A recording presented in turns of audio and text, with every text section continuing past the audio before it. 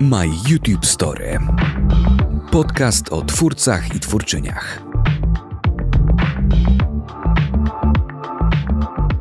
Cześć, nazywam się Gabi Darmetko i zapraszam do wysłuchania kolejnego odcinka. Tym razem ze mną w wirtualnym studiu osoba, która od ponad 8 lat z sukcesem uczy nas mówić po cudzemu, a dokładnie po angielsku. Arlena Wit, witam serdecznie. Dzień dobry Państwu. Jak e, miło Cię słyszeć, bardzo się cieszę, że możemy porozmawiać. Będziemy rozmawiać po polsku, ale myślę, że o ten angielski szerokim łukiem zahaczymy. E, Proszę bardzo. Arlena, powiedz na początek, bo mm, ten kanał istnieje już trochę czasu. Myślę, że wiele osób uczy się cały czas, bo myślę, że nauka języka to jest coś takiego, co cały czas trzeba robić. E, korzysta z, z tego, co pokazujesz, o czym mówisz, ale powiedz, jak to się w ogóle wszystko zaczęło? Co było impulsem do tego, żeby uczyć angielskiego na YouTubie? W 2012 roku założyłam blog mm, i pisałam sobie tam teksty różne. Niektóre dotyczyły też języka angielskiego, ale brakowało mi tam tego, że ja nie mogę właśnie włączyć dźwięku ludziom, żeby oni sobie posłuchali, jak to należy poprawnie wymawiać, żeby mogli sobie powtórzyć. No i tak e, trochę się z tą myślą biłam, czy zakładać ten kanał na YouTubie, czy nie. Ja wtedy miałam jeszcze y, dosyć duże kompleksy, bo miałam krzywe zęby. Wiedziałam, że jak wejdę na YouTube'a, to będą mnie oceniać pod każdym kątem, wszystko no, pisać na mój temat i na temat mojego wyglądu. Zresztą ja po prostu nie czułam się komfortowo wtedy ze swoimi zębami, ze swoim uśmiechem, a jak mam mówić jednak do kamery, jak mam pokazywać dokładnie, jak układać aparat mowy, no to te zęby też muszą po prostu wyglądać normalnie, nie zwracać na siebie jakoś uwagi. Więc postanowiłam y, zadbać tak kompleksowo o to i najpierw założyłam aparat na zęby. Czyli tak, to było takie grubsze przygotowanie, nie, nie, tak na spontanie wszystko. No to też wiadomo, to nie było tylko pod kątem tego kanału. Ja chciałam po prostu poprawić swoją jakość życia i swoje samopoczucie i poczucie własnej wartości, bo to mnie bardzo męczyło przez no, wiele, wiele lat. A w międzyczasie, jak te zęby mi się prostowały, to myślałam sobie już o tych treściach, co to by miało być, jak to zrobić. I ponieważ ja już w blogosferze trochę istniałam, w takim sensie, że ja zdążyłam poznać kilku twórców internetowych różnych i blogerów, i youtuberów, no i właśnie tak trochę zazdrościłam tym youtuberom. Po pierwsze tych umiejętności, że oni wiedzą jak to zrobić, że nagrać film i potem go wypuścić i sprawić, że on cię ogląda, bo jakby nie zależało mi na popularności, mi nie o to chodziło. Mi chodziło o to, żeby w skuteczny sposób nauczyć ludzi angielskiego i w skuteczny i przyjemny sposób im podać tę wiedzę. A YouTube po prostu był do tego bardzo dobrym narzędziem. No i kiedy poznałam kilku takich YouTuberów mm, zajmujących się powiedzmy rozrywką, którzy są bardzo popularni, a tworzą treści, no moim zdaniem, nie wymagające jakiejś wielkiej pracy i z ich strony, i nakładów intelektualnych ze strony ich widzów, to pomyślałam sobie, że przecież ja nie jestem od nich głupsza. I ja chyba też sobie bym dała radę, skoro oni dają radę. Mhm. Więc y, to mnie tak trochę mm, zachęciło do tego, żeby jednak spróbować swoich sił i po prostu zainteresować się tematem. Więc musiałam najpierw znaleźć jakiegoś frajera, który mnie tego nauczy i tym frajerem okazał się mój obecny mąż. I on mi wytłumaczył wszystko, to znaczy te bardziej kwestie techniczne związane już z nagrywaniem dźwięku i potem dystrybucją tego pliku wideo na YouTubie, bo kwestią samego wideo, czyli obrazu, to ja nie musiałam się specjalnie tego uczyć, bo przez wiele lat pracowałam jako fotografka, więc ja miałam obczajone kadry i głębie ostrości i oświetlenie i tak dalej, więc tu jakby te, ta praca fotografa mnie do tego przygotowała. Natomiast jak już mi zaświtał ten pomysł, że a, to może ja zrobię za kanał, ale jeszcze nie wiem o czym, Potem dopiero ja wymyśliłam, że to będzie kanał o języku angielskim. Jakoś nie wydawało mi się to takie oczywiste na początek. Mówią, że najciemniej jest pod latarnią, no i właśnie ja tak miałam. A myślałaś może, że mm, na YouTubie to tylko rozrywka się sprzedaje? Nie, ale wtedy było to zdecydowanie, no nadal chyba, najbardziej popularna taka gałąź bym powiedziała, no bo jak się przejrzy filmy, które znajdują się na karcie na czasie, to, to tam rzadko się pojawia coś innego mhm. niż y, pranki, jedzenie cynamonu i takie tego typu rzeczy. Mm, więc to ja już wiedziałam z góry, że to nie będzie tak, że ja tam będę gdzieś w top 1, czy w top 10, czy w top 3, tylko po prostu chciałam dotrzeć do większej liczby osób niż docierałam obecnie, to znaczy w tamtych czasach, a pracując w szkole docierałam do 30 osób wykonując tę samą pracę i mówiąc te same słowa, więc pomyślałam, jak jeden film obejrzy więcej niż 30 osób, no to już moja praca jest bardziej efektywna. Mm, no i trochę czasu mi zajęło obmyślanie tego, jak to ma wyglądać. To znaczy, zanim y, opublikowałam swoje pierwsze filmy, od momentu, kiedy wymyśliłam w ogóle, że będę robić kanał i że to będzie o języku angielskim, minęło półtora roku. Wow. Ja w tym czasie. Trochę, trochę to minęło czasu, prawda? Bo niektórzy robią na spontanie, wpadają na pomysł, robimy, lecimy z tym. Tak, a ja mm, wychodzę z założenia, że lepiej jest coś dobrze przemyśleć, to potem robienie zajmuje dużo mniej czasu. Więc ja to sobie po prostu chciałam dobrze rozkminić, więc wymyślałam sobie tę nazwę, wymyśliłam sobie tę oprawę graficzną, wybierałam font na przykład, jaki tam mi towarzyszył, wymyślałam sobie, jak to zrobić, żeby właśnie pojawiały się te stawki filmowe, co to by miało być, jak je opisać i tak dalej spisałam sobie listę jakichś pierwszych tematów, które chciałabym omówić. Zastanawiałam się, jakie to miałoby być długie w ogóle, jakie długie filmy tworzyć. Czy, czy wymyślić sobie jakiś cel, czy nie, jak często publikować. Więc ja to wszystko chciałam mieć obcykane, zanim w ogóle ruszę bo nie podoba mi się takie zjawisko, które się czasem pojawia w internecie, gdzie ktoś właśnie wrzuca coś fajnego i to jest taki jeden hit, a potem nic się nie dzieje. Ta osoba nie, nie, nie, pokazuje nic więcej. Widać, że to był taki jednorazowy pomysł, że to nie jest pomysł na siebie, tylko to był pomysł na jeden film. Mhm. A ja uznałam, że jak już tworzyć cykl, no to niech to będzie jakaś porządna seria, a tak się składa, że tematyka języka angielskiego no to jest właściwie temat nieskończony. Mogę o każdym słowie ze słownika nagrać film, więc pomysły mi się szybko nie skończą. Poza tym pojawiają się cały czas nowe rzeczy. Mm, mamy jakiś język potoczny, albo słowa przechodzą do języka polskiego z angielskiego, czasem coś się staje modne. Więc tak naprawdę to, to jest taka studnia bez dna, co mnie bardzo cieszy, bo ja po prostu cały czas mam pracę i nie muszę na siłę wymyślać tematów. Mm, no i tak właśnie y, miałam kontakt wtedy jeszcze z kilkoma doświadczonymi już youtuberami. Oni mi kilka rad y, podali. Ja nie do wszystkich się zastosowałam. A co to były za rady? Bo to też ciekawe jest, co takiego mogli powiedzieć na, na tamte czasy, bo wiadomo, że to już trochę czasu minęło, tak. też YouTube się zmienia. Tak, była inna trochę moda wtedy, inne trendy. No na przykład to, że ponieważ ja bardzo dużo pracowałam nad y, tymi pierwszymi filmami już pod sam koniec, czyli powiedzmy latem, bo ja opublikowałam pierwsze filmy 7 sierpnia, więc te letnie miesiące wakacyjne to były takie dla mnie najbardziej intensywna praca.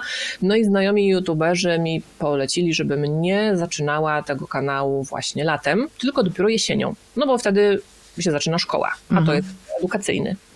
A ja już miałam tak dość tego, że ja już tak długo nad tym pracuję i już mam na przykład jeden odcinek gotowy, a mój mąż z kolei mi poradził, no to tego, do tego się zastosowałam, żeby wypuścić naraz trzy filmy, a nie tylko jeden. Bo jak wypuszczę jeden, no to właśnie ludzie wtedy nie wiedzą, czego się dalej spodziewać, czy to będzie seria, czy to jest taki jeden tylko film, a jak wypuszczę trzy, to wtedy widać, że to już jest jakiś cykl i łatwiej jest podjąć widzowi decyzję o zostawieniu subskrypcji. On wie, czego się spodziewać w kolejnych filmach.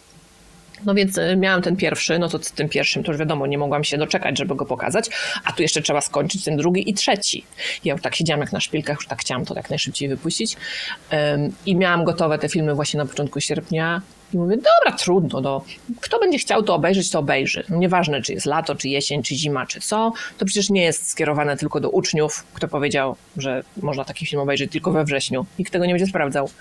Mm, I wypuściłam te pierwsze trzy filmy w najgorszy możliwy dzień, tak jakby się teoretycznie wydawało, bo to było właśnie lato, to był piątek i to była godzina 19 w upalny dzień, kiedy wszyscy sobie poszli na Wisłę albo na plażę i po prostu chillowali sobie, a Arlena wymyśliła, że będzie to teraz publikować. No i wrzuciłam te pierwsze trzy filmy. Puściłam link na fejsie i na Twitterze chyba wtedy, że hej, zrobiłam coś takiego, zapraszam do uczenia się angielskiego ze mną. Mm, I tak sobie pomyślałam, dobra, poszło, kto obejrzy, to obejrzy. Jak do jutra będzie 100 subów, to ja będę szczęśliwa. To mi to wystarczy w zupełności. No i w pierwszej dobie było 6,5 tysiąca subskrypcji. Także to jest na bogato, można powiedzieć. No, ja tam nie miałam żadnych celów. Ja tak zawsze uważam, nisko celować. To wtedy nie będziecie rozczarowanym. Wszystko, co się wydarzy, to jest dobrze. Ale te 6,5 to była taka motywacja, ojej, to musimy robić szybko i więcej? Nie, ja sobie wymyśliłam, że będę robić raz w tygodniu, no bo bez przesady, to ja to robię też dla siebie, nie tylko dla innych, więc no, żeby porobić, ale żeby się nie zarobić. Mhm. Jestem bardzo przeciwniczką y, takiej kultury, powiedziałabym tu teraz słowo na Z, ale nie mhm. wiem, czy mogę. Y, Możesz, to uważam, podcast. Więc jestem przeciwniczką kultury zapierdolu i bardzo go nie stosuję w swoim życiu. Uważam, że życie jest po to, żeby żyć, a nie żeby pracować, y, więc ja pracuję po to, żeby żyć, a nie odwrotnie. Mm, więc uznałam, trudno, kto chce, jak kocha, to poczeka i będą musieli przez ten tydzień poczekać na następny odcinek. Więc tydzień później pojawił się odcinek czwarty, potem piąty, potem szósty i tak dalej. I przez bardzo długi czas publikowałam jeden odcinek w tygodniu i i tak uważam, że to jest dużo i często, bo jak na format, który sobie wymyśliłam, który jest jednak dosyć skomplikowany, jeśli chodzi o przygotowanie go, to to jest po prostu dużo pracy. I mhm. dopiero zwolniłam tempo, jak byłam już y, w zaawansowanej ciąży, bo wtedy po prostu zdrowie mi już nie pozwalało na to, żeby tak często stawać przed kamerą. Miałam problem z oddychaniem wtedy, no bo wiadomo, ten brzuch się robi coraz większy, a płuca coraz mniejsze. To wtedy po prostu troszeczkę sobie zmieniłam mm, tę częstotliwość. Ale mhm. przez bardzo wiele czasu, przez długie lata mm, produkowałam jeden film w tygodniu i odpowiadał mi ten tryb. Także to była bardzo długa odpowiedź na bardzo proste pytanie, jak to się wszystko zaczęło. Tak, ale powiem ci, że jak się patrzy, bo ja znalazłam ten pierwszy też odcinek, który ma ponad milion wyświetleń, to on się nie zestarzał, bo niektóre filmy, niektórych twórców, gdzie się tam je wykopie sprzed paru lat, to widać, że one są już tak trącą myszką, tak bym powiedziała. A tutaj chyba przez to, że miałaś to przemyślane od początku do końca, zrobione w profesjonalny sposób, to wygląda e, całkiem świeżo i e, wszystko do siebie pasuje. Nie, nie zmieniasz co, co roku czy co, co pół roku e, konwencji. A powiedz, przygotowanie tego, bo mówiłaś, że to trochę zajmuje, bo podejrzewam, że ktoś może sobie spojrzeć, aha, no to stoi coś powie, w zasadzie zna angielski, no to idzie i to jak spłatka, może powiedzieć na zawołanie, to włączyć kamerę, wrzucić potem na YouTube'a i już szybciutko. Tak, ileż to jest czasu zrobić pięciominutowy film, nie? Pięć minut. No właśnie. Mm, Teraz mam trochę inny sposób pracy niż na początku. Wiadomo, że to się człowiek po prostu uczy z czasem i sobie usprawnia i optymalizuje różne procesy. Bardzo to profesjonalnie zabrzmiało teraz. I no na przykład teraz mam już dosyć duży zasób y, napisów do filmów, swoich ulubionych filmów, swoich ulubionych seriali. Można je zupełnie, y, mam na myśli napisy, można zupełnie legalnie napisy pobrać z internetu, więc ja pobieram po prostu pliki tekstowe z dialogami anglojęzycznymi i wtedy bardzo łatwo jest mi je przeszukiwać. Kiedyś szukałam wszystkiego w internecie, a nie wszystko w internecie jest. Znaczy, trudno jest znaleźć w internecie konkretną scenę z konkretnego filmu. Um, więc jakby, sam, samo przeszukiwanie już tego kontentu jest dla mnie łatwiejsze. Mhm. A nawet jeśli nie znajdę czegoś, z czego nie mam u siebie, to są, powstały od tamtego czasu też liczne strony, na których można znaleźć fragmenty czy filmów, czy filmów z YouTube'a właśnie, w których wypowiadane jest dane słowo, czy dana fraza. Mm, I teraz zależy oczywiście od tematyki y, konkretnego odcinka, który przygotowuję, bo są takie, które no nie zajmują mi dużo czasu do przygotowania. Dużo czasu to mam na myśli, nie wiem, 5 godzin, to, to jest mało czasu. A czasami pracuję nad czymś dwa dni, bo jeżeli wybiorę sobie słowo, które występuje w co drugim zdaniu, na przykład the, no to bardzo dużo mam takich przykładów i trzeba po prostu dużo czesać, y, mhm. żeby wybrać to, co mi konkretnie pasuje.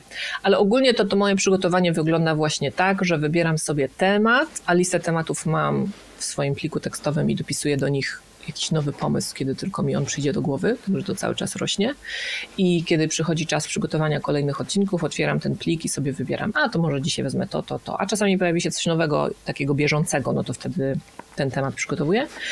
I właściwie przygotowuję sobie po prostu, wybieram te wstawki filmowe, które się pojawiają w odcinkach, a pomiędzy nimi tylko tak hasłowo sobie zapisuję, czasem jednym słowem, co chcę powiedzieć, no bo mniej więcej wiem, co chcę powiedzieć. I potem, kiedy już staję przed kamerą i włączam nagrywanie, to właściwie mówię z głowy to, co się pojawia między tymi wstawkami.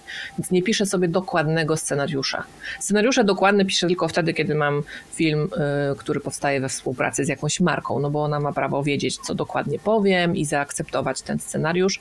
Kiedyś tego nie robiłam i potem zapłaciłam za to taką cenę, że musiałam nagrywać jeszcze raz. A teraz robię tak, że wysyłam scenariusz do akceptacji i kiedy sama treść już jest zaakceptowana, no to już wtedy nie muszę nagrywać ponownie, bo przecież wiedzieli, co powiem, prawda? Mhm. Także właściwie to ja bym powiedziała, że ja to wszystko robię z lenistwa, żeby się nie narobić.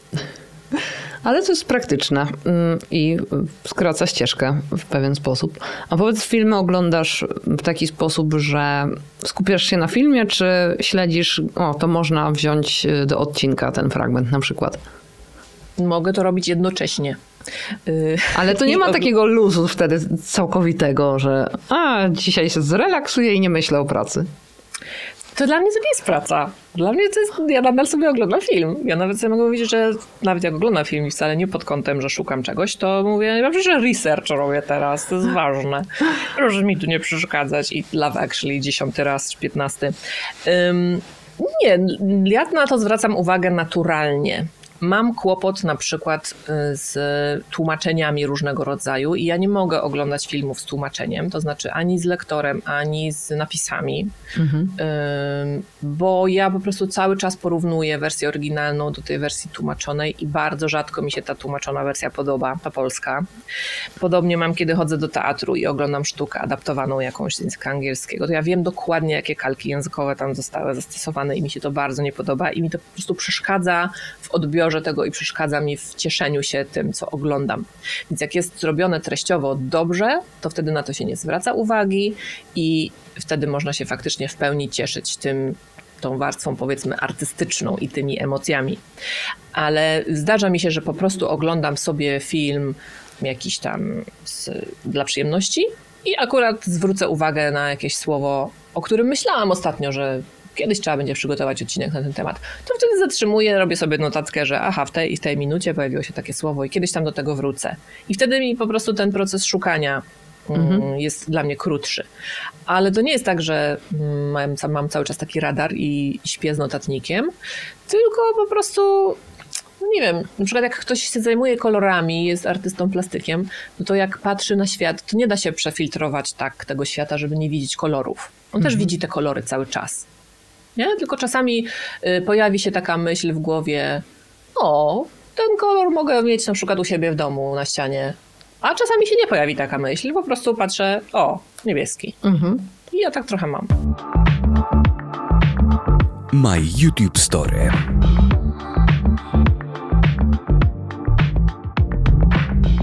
Cały czas tworzenie y, kanału to jest dla ciebie też zabawa, nie, nie tylko praca, tak jak powiedziałaś, ale czy pamiętasz takie punkty zwrotne w historii mm, Twojego kanału, kiedy zauważaj, że coś się zaczyna zmieniać i zmienia się też Twoje życie?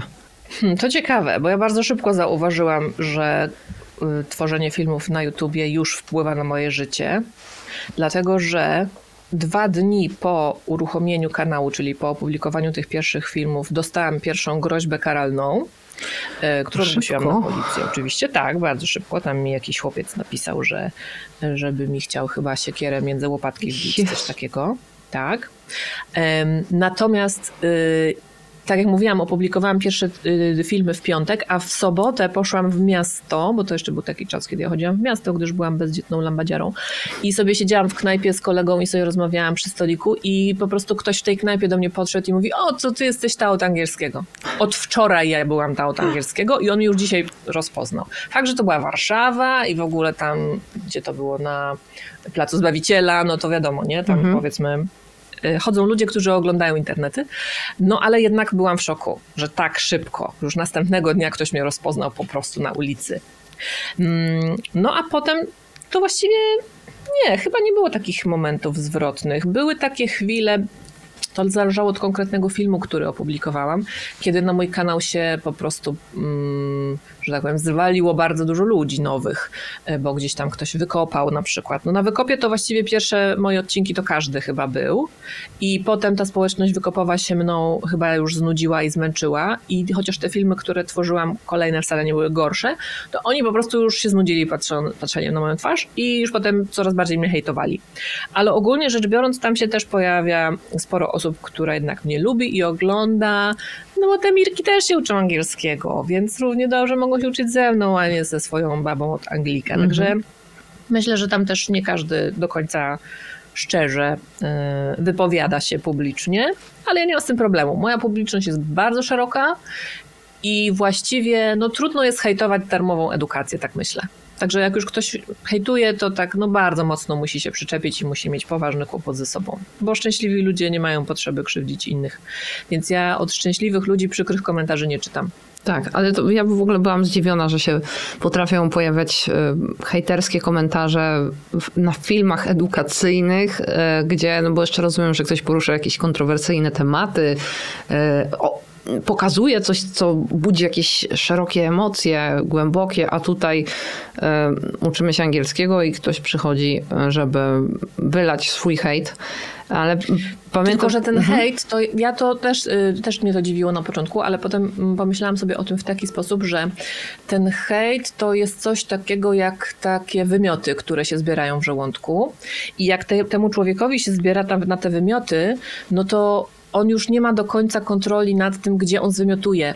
I on czasami wymiotuje na błoto, a czasami wymiotuje na kwiatki, ale on musi zwymiotować. No po prostu po przechodził prostu... i trafiło akurat tam. Hmm? Tak, tak. Akurat ja go zdenerwowałam z jakiegoś powodu. Moje okulary, moje włosy ostatnio bardzo denerwują wszystkich. Albo y, no cokolwiek właściwie. To, że ja w ogóle mam czelność być kobietą w internecie, no bo umówmy się, prawda, to przecież nie wypada. Mm, więc powody są różne i one właściwie nie są racjonalne, dlatego ja się tym po prostu nie przejmuję. Jak mi ktoś pisze, że jestem krzesłem, no to ja wiem, że nie jestem, więc no nie wierzę w to. Dlatego ogólnie rzecz biorąc po mnie to raczej spływa, bo ludzie mi po prostu piszą bzdury. Mhm. A pamiętam kiedyś taką serię, gdzie robiłaś przegląd komentarzy. E, I w sumie to było takie zabawne, bo to, co mi utkwiło, nawet sobie to ostatnio e, odtworzyłam. Ktoś napisał, kupiłem jęzory wołowe na obiad e, nie jest to dobre mięso, coś takiego, zupełnie od czapy. Po prostu też to jest takie zastanawiające, co tam się w głowach dzieje, że przychodzą i piszą takie rzeczy. Tak, tak, nie wiadomo czemu. No dlatego to trzeba jednak bardzo z przymrużeniem oka. Mnie bardzo pomaga w tym funkcjonowaniu w internecie to, że jestem po psychoterapii i dzięki niej po prostu zrozumiałam trochę lepiej naturę człowieka, swoją własną i innych ludzi również. I pozwala mi to y, bardzo tak przez takie okulary patrzeć na to, zresztą dosłownie patrzę przez okulary, mm, więc no jakby nie biorę tego do siebie, nie przejmuję się tym, też ja nie mam jakoś bardzo dużo tego hejtu. No, u mnie jednak 98% komentarzy to są rzeczy miłe, to są ludzie wdzięczni za to, że ja ich uczę za darmo. To są już jednak przez te lata osoby, które na przykład zaczęły się ze mną uczyć, gdy były w szkole, a potem y, postanowiły na przykład pójść na studia jakieś tam filologiczne, czy wyjechać za granicę i w ogóle ich życie się bardzo zmieniło na skutek tego, że właśnie zobaczyli, że nauka angielskiego może być fajna.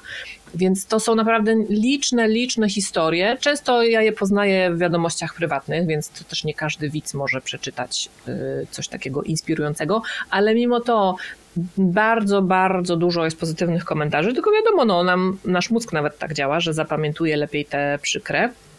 I kiedy się do y, beczki miodu krople dziegciu wleje, no to ten miód już po prostu nie jest smaczny. Nie? I tak mhm. to działa. No tak. E, a powiedz proszę, e, czy ty wtedy, kiedy uruchomiłaś kanał, pracowałaś jeszcze w szkole? Nie. Ja już od wielu lat nie pracowałam w szkole. Ja wtedy miałam lekcje indywidualne. Aha, bo zastanawiało e. mnie takie podejście właśnie ludzi, których uczysz tak face to face, a to jak zareagowali na, na, na, na, twój, na twoją działalność w internecie. No to ja miałam wtedy kilkoro uczniów, już tylko indywidualnych. E, takie dwie siostry między innymi uczyłam zdalnie. To e, one wtedy były nastolatkami i no miały bekę z tego po prostu. Tak razem się z tego śmiałyśmy po prostu i no one mnie znały jako panią Arlenę wcześniej i ja nadal byłam dla nich panią Arleną, a one potem jak zaczynałyśmy lekcję mówią, o Boże, rozmawiam z tą słynną panią Arleną. Więc raczej się z tego po prostu śmiałyśmy ale y, skutkiem tego, tej powiedzmy popularności mm, mojego kanału było to, że bardzo dużo osób się do mnie zgłaszało i nadal zgłasza z pytaniem właśnie o lekcje. I nie wiem, gdybym prowadziła szkołę językową albo gdyby moja doba miała tysiąc godzin, no to miałabym bardzo dużo uczniów ale no nie jestem w stanie niestety tyle zajęć prowadzić.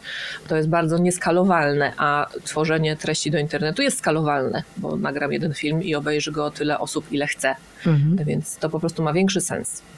A wydaje mi się, że też to, że tak dużo ludzi chce się uczyć, e, chciałoby, żebyś mm, ich uczyła indywidualnie, między innymi, to wynika z tego, że masz takie zupełnie inne podejście do, do tego, jak przekazujesz tę wiedzę, bo ja mam wrażenie, że to, co my mamy w szkole, mieliśmy, bo już dawno do szkoły nie chodzę, ale e, Wydaje mi się, że w szkole to niekoniecznie da się nauczyć angielskiego, tylko uczymy się tak, żeby napisać test i zdać maturę.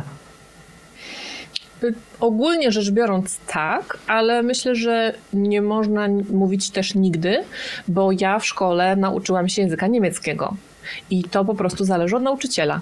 A że dobrych, zaangażowanych nauczycieli z pomysłem, z energią, których system szkolny jeszcze nie zabił, jest mało, no to mało osób ma taką okazję ale mhm. wiem, że to się da, bo ja się właśnie w sposób komunikatywny nauczyłam niemieckiego wyłącznie w szkole i potem w domu tylko oglądając niemieckojęzyczną telewizję, ale bez żadnych dodatkowych korepetycji, y, innych zajęć i tak dalej. Także to jest możliwe ale no właśnie mało osób ma to szczęście, żeby trafić na takiego nauczyciela i na takie warunki. Zresztą nasz y, system po prostu i program nauczania nie za bardzo wspomaga y, uczenie się języka w sposób komunikatywny i praktyczny. Raczej właśnie tak, przygotowuje do testów, uczy rozwiązywania ćwiczeń, y, rycie tej gramatyki, w kółko to samo, w kółko te same cztery czasy, tam nikt nie dochodzi do tych bardziej zaawansowanych, bo przecież już nie ma czasu, bo już zaraz koniec roku szkolnego i tak dalej. Plus robi się to w sposób po prostu nudny. Mhm. Y, ale no, tak jest w każdym zawodzie. Większość osób wykonujących dany zawód jest średnia. Y, zdarza się bardzo małe grono partaczy i zdarza się bardzo małe grono ludzi z pasją, wybitnych, geniuszy, y, Wszyscy powinni tacy być jak oni. Ja staram się być takim nauczycielem, jakiego sama chciałabym mieć. I jest to dla mnie bardzo proste, jakby wyobrazić sobie, jakiego bym chciała mieć nauczyciela. I ja też nie boję się zrobić z siebie głupka, ośmieszyć się, wygłupić się, bo ja się chcę też przy tym dobrze bawić, a poza tym wiem, że jeżeli ktoś się przy tym dobrze bawi razem ze mną, mam nadzieję, to wtedy po prostu ta nauka przychodzi łatwiej. Jak się pośmiejemy, jak posłuchamy fajnej piosenki, jak zobaczymy, że angielski to nie jest tylko w podręczniku, ale jest też w filmie, w grze, w piosence, to nagle się okazuje, a to jest nawet całkiem spoko i to mi nawet sprawia frajdę. To nie jest zwykły przedmiot w szkole, jakby nie urągając innym przedmiotom w szkole, ale no, ja jednak widzę różnicę między uczeniem się historii, a uczeniem się um, języków obcych, których możemy używać na co dzień, którymi posługujemy się w internecie, w których oglądamy swoje ulubione kanały na YouTubie i tak dalej. To jest jednak trochę inny poziom praktyczności tej wiedzy.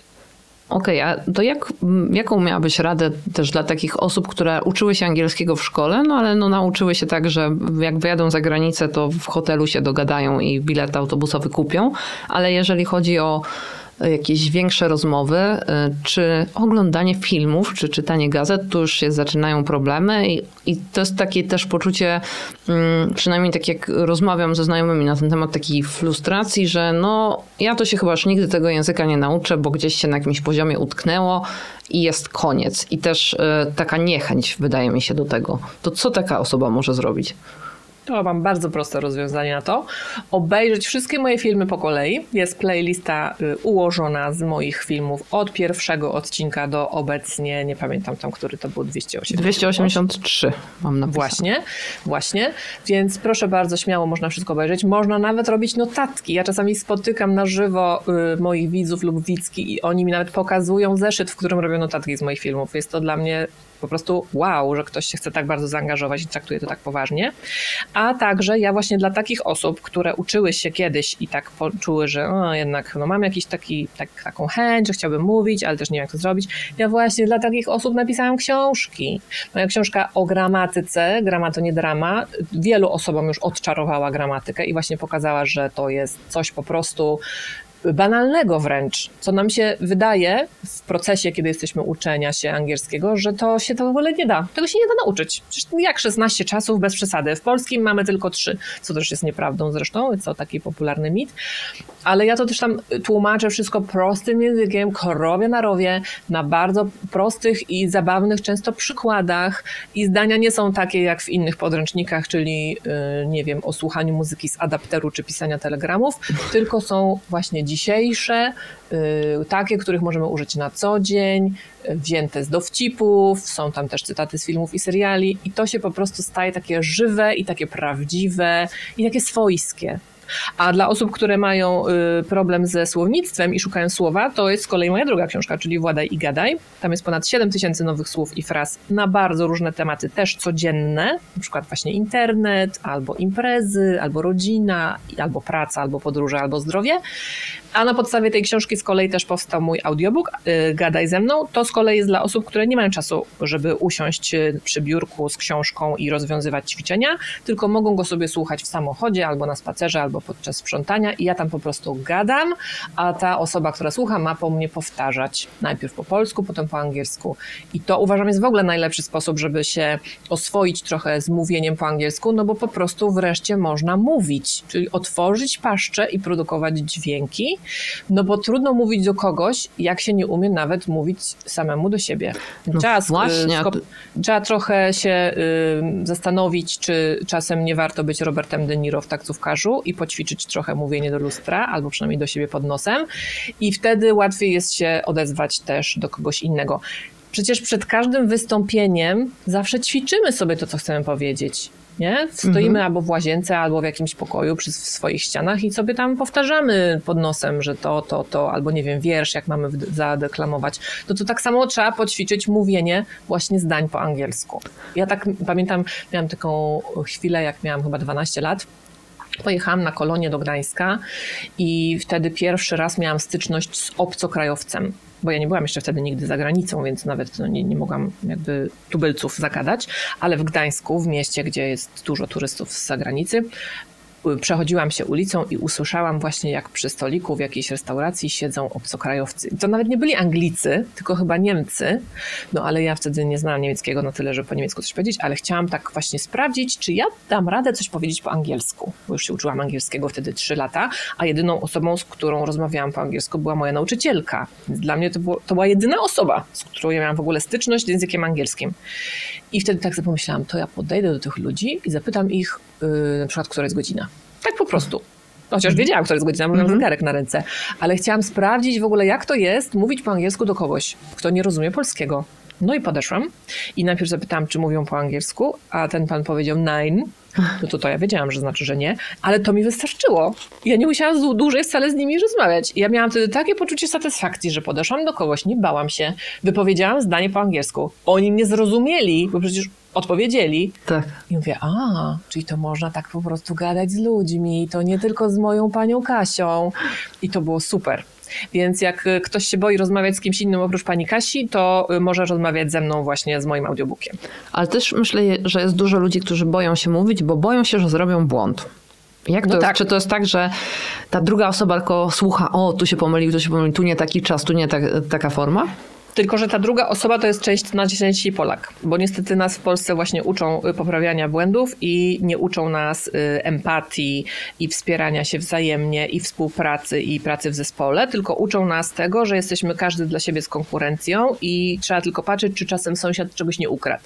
Więc ym, myślę, że dużo łatwiej jest rozmawiać po angielsku w gronie y, cudzoziemców niż Polaków, a jeśli ktoś ma bardzo z tym wielki problem, to ja polecam mój odcinek numer 10, który właśnie ma taki tytuł Jak się nie bać mówić po angielsku. I ja tam podaję bardzo dużo argumentów za tym, że jednak warto próbować i że gramy do tej samej bramki, bo y, taki spoiler alert, jak y, cudzoziemiec z nami rozmawia po polsku, to przecież my też słyszymy, że on robi błędy, ale czy śmiejemy się z niego? Czy poprawiamy każdy jego błąd? Nie. Cieszymy się, że on się nauczył polskiego na tyle, żeby mieć odwagę z nami próbować rozmawiać właśnie w naszym języku i nawet jeśli popełnia błędy, ale my go nadal rozumiemy, no to przecież taki jest cel języka. Język służy do komunikacji, mhm. a to, że nie mówimy idealnie, to nie jest żadną przeszkodą często. A jeśli jest i jeśli nie zrozumiemy czegoś, to przecież zawsze można dopytać, a co masz na myśli? Nie rozumiem, o co ci chodzi. Y, może czasami się zdarzy, że ktoś, nie wiem, pomyli słowa. Taki dowcip mi się przypomniał, jak na wykładzie na polskiej uczelni, na, na publiczności, to znaczy w audytorium siedzą również studenci z zagranicy i temat jest um, osmoza cieczy. No i profesor na koniec pyta, czy są jakieś pytania. No i zgłasza się taki ciemnoskóry student z tyłu sali i mówi, że tak, że on ma pytanie, że on chciałby wiedzieć, jak to jest. To woda ścieka i pies ścieka? Także z kontekstu też można bardzo dużo wnioskować i nie zawsze trzeba mówić idealnie, żeby wiadomo było o co chodzi. My YouTube Story.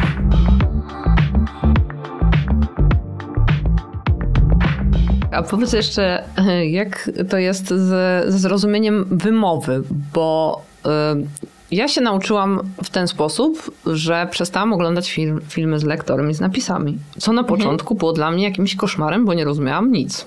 Mhm. Ale czy to jest jedyny sposób, gdzie nie. trzeba być cierpliwym? To znaczy, cierpliwym to trzeba być, bo z nauką języka y, nie jest tak jak z jazdą na rowerze, że po pierwsze wystarczy się raz nauczyć i już się potem pamięta do końca życia, i też niestety to zajmuje więcej czasu.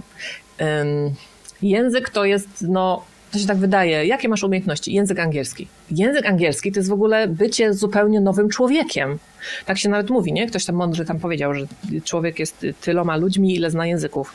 Język to jest po prostu tak ogromny obszar wiedzy, że tego się nie da nauczyć w tydzień, w miesiąc, w dwa miesiące nawet. Da się nauczyć w kilka miesięcy albo w kilka tygodni yy, podstaw, czyli tego, co nam jest potrzebne na co dzień. No, są takie przypadki, że ktoś pojechał za granicę, nie znając zupełnie nic i po trzech miesiącach, powiedzmy, jest w stanie się porozumieć. No ale on wtedy mówi to, co jest mu na co dzień potrzebne, czyli operuje powiedzmy stoma, dwustoma zdaniami, bo to mu wystarcza na co dzień. Niektórzy znają tyle słów w ogóle tylko i też im wystarcza.